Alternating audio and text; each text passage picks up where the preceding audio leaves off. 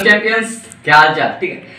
तो यार, जैसे हमारी हर वीडियो आपके लिए इफ़ेक्टिव होती है तो ये भी वीडियो आपके लिए इफ़ेक्टिव होगी, छोटी होगी वीडियो, तीन से चार मिनट की होगी, पूरा देखिएगा वीडियो को, और चैनल को सब्सक्राइब ज़रूर कर दीजिएगा। क्योंकि जैसे मैंने पहले आप लोग की हेल्प किया हूँ, जैसे यूट्यूब के लिए लगातार आपके लिए पढ़ा रहा हूँ, लगातार मॉक टेस्ट ले रहा हूँ तो ऐसी ही मेरी वीडियो आती रहेंगी। लास्ट ट्वेंटी डेज़ स्ट्रेटेजी मैंने ला रखा उसको जाके चेक कर सकते हो यार। यूट्यूब के लगभग तीस वीडियो आ चुके हैं, जाके चेक कर लेना, अब वीडियो स्टार्ट करते हैं, ठीक है। तो देखो यार, इस वीडियो में बताने वाला हूँ हाउ आई स्कोर आपने देखा होगा थंबनेल देखा ही होगा how I score 1 180 marks out of 200 in UPTU 2019 तो यार यूपी टू मुझे नहीं लगता यार कि क्योंकि जो बच्चा जेई मेंस अच्छा प्रदर्शन कर देता है यूपी टू तो उसके कुछ नहीं है, ठीक है? क्योंकि यूपी टू का जेई मेंस से कम लेवल होता है। देखो यार यूपी टू में क्या होता है? मैंने जैसे आपको बताया होगा कि 50 50 क्वेश्चंस होते हैं 600 मार्क्स के होते हैं, और आपका नेगेटिव मार्किंग होता नहीं है, इसलिए सारे बच्चे सारा सारा क्वेश्चंस करके आते हैं। तो सीक्रेट स्ट्रेटजी करने वाला हूँ आज। आपके सामने सीक्रेट स्ट्रेटजी होने वाली ठीक है? लेकिन क्या इसमें सीक्रेट अब तो आपसे रिवील कर ही रहा हूँ मैं। सीक्रेट कोई नहीं, लेकिन मैं चाहता हूँ कि आप लोग का थोड़ा हेल्प हो जाए। फॉलो करिएगा जो मैं बता रहा हूँ। देखो यार केमिस्ट्री में सबसे पहले मैं क्या पढ़ के गया था उसमें? जैसे मान लो तुक्का उक्का लगाना तो होता है, लेकिन तुक्का मैंने नहीं लगाया था केमिस्ट्री में, क्योंकि मेरा केमिस्ट्री स्ट्रॉन्ग था। तो आप लोग भी केमिस्ट्री स्ट्रॉन्ग कर सकते हो। स्ट्रॉन्ग नहीं, कोई बात नहीं। लास्ट ट्वेंटी डेज़ जब अठारह, उन्नीस दिन बचे हुए उस दिन में आराम से तैयार कर सकते हो। सबसे पहली बात।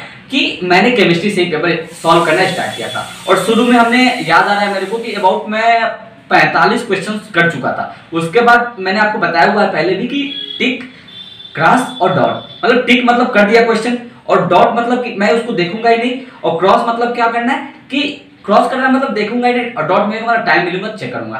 क्रॉस वाला तो क्या है, तुक्का वाला होता है, ठीक है? क्योंकि छोड़ना तो है नहीं क्वेश्चन तो समझो यार, उसमें मैंने क्वेश्चन कैसे थे क्योंकि यार मैं देने देखा उस पेपर को एनालिसिस करने के बाद। क्योंकि मैंने पिछला पेपर भी एनालिसिस किया था, उसके बाद मैं पेपर देने गया था। पेपर में क्या हुआ था कि पेपर में एनसीआरटी से ही क्वेश्चन ज़्यादा ज़्यादा पूछे जाते हैं।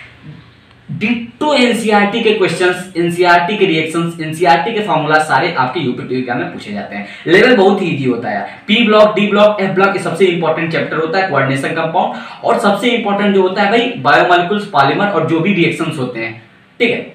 जो भी आपके रिएक्शन होते हैं वो सबसे इंपॉर्टेंट होता है। फ़िज़िकल में बात करेंगे सॉलिड स्टेट सॉल्यूशन ये सब आपके चैप्टर से इंपॉर्टेंट होता है, जो सारे चैप्टर मैं आपके लिए करा रहा हूँ। सीक्रेट यही है कि आप लोगों को सारा क्वेश्चन करना है और एनसीईआरटी मस्ट e करके जाना है। अभी इतने दिन बचे हुए यार मैं मान लेता हूँ यार कि तुम लोग केमिस्ट्री के लिए केमिस्ट्री के लिए मान लो अगर आप लोग चार पाँच दिन में निकालो ना केमिस्ट्री तुम्हारा तीन चार दिन में खत्म हो जाएगा। कैसे हो जाएगा भाई?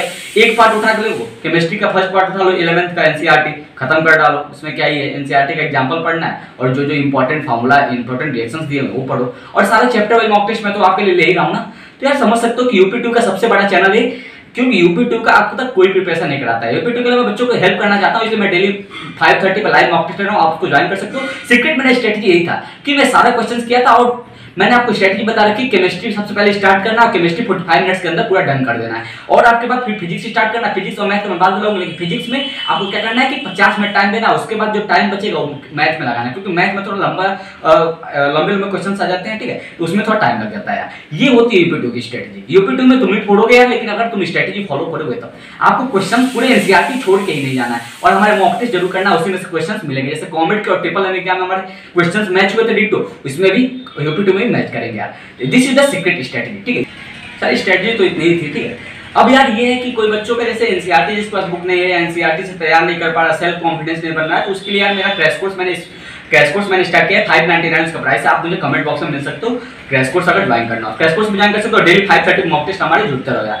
सबसे लास्ट समरी बता देता हूँ स्ट्रेटजी मेरी क्या थी कि उस समय मेरी स्ट्रेटजी थी केमिस्ट्री से स्टार्ट करना। और केमिस्ट्री सारा एनसीईआरटी पूरा रट के जाना। क्योंकि एनसीईआरटी से ही क्वेश्चंस आपके बन के आते हैं। और क्लास ट्वेल्थ तो ज़रूर पढ़ के जाना। क्लास ट्वेल्थ से sixty five to seventy percent question class twelfth से पूछे जाते हैं। और बाकी इलेवन से पूछे जाते हैं। अगर आपका क्लास ट्वेल्थ तैयार आराम से तुम लोग फोड़ के चले आओगे ठीक है? डेढ़ सौ प्लस में मार्क्स लाते हो ना केमिस्ट्री में तो आराम से फोड़ हो गया तुमको ये स्ट्रेटेजी रखनी चाहिए, कम से कम एक चैप्टर टॉप एक मतलब एक सब्जेक्ट के अंदर तगड़ा होना चाहिए कम से कम एक सब्जेक्ट में तुम डेढ़ सौ प्लस स्कोर करो बाकी सब डेढ़ डेढ़ सौ भी लाओगे तो आराम से चार सौ क्रॉस कर जाओगे।